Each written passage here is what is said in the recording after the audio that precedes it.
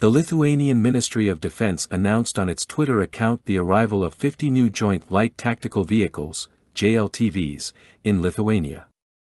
This delivery fulfills a 2019 contract with the United States government for a total of 200 JLTVs.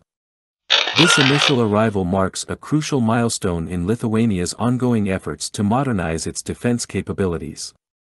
Additionally, Lithuania has reinforced its commitment to enhancing its ground defense capabilities by signing a second contract with the United States in 2022.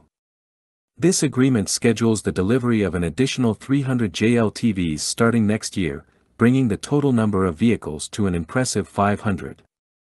The acquisition of these JLTVs reflects Lithuania's strategic initiative to strengthen its military presence in Eastern Europe amidst a tense geopolitical climate. The transaction involving the sale of 500 Joint Light Tactical Vehicles, JLTVs, to Lithuania, including support services, is estimated to cost $170.8 million. The JLTV is renowned for its robust design and advanced protective features, representing a significant enhancement to the Lithuanian military's vehicle fleet. Weighing 6,400 kilograms when empty and capable of reaching speeds of up to 120 kilometers per hour, the JLTV is not just a transport vehicle but also a formidable asset in combat scenarios. It can be equipped with either a 7.62mm or 12.7mm machine gun, providing substantial firepower. A key aspect of the JLTV is its advanced armor solutions, offering protection against small arms fire, IED blasts, and artillery shell splinters.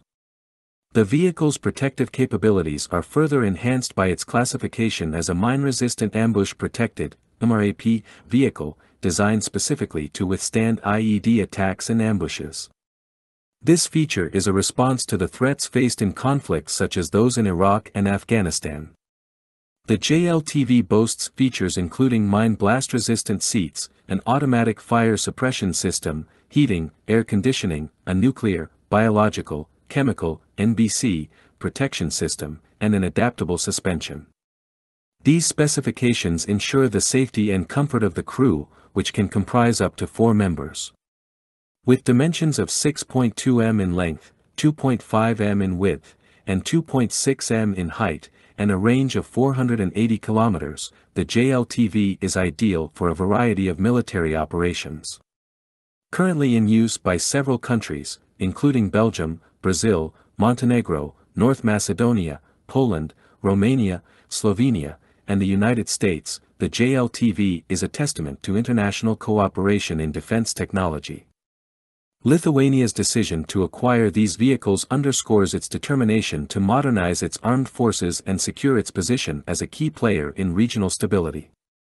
As Lithuania navigates the challenges of an evolving international security landscape, the acquisition of the JLTVs is a clear indicator of the country's commitment to maintaining a strong, well-equipped military force.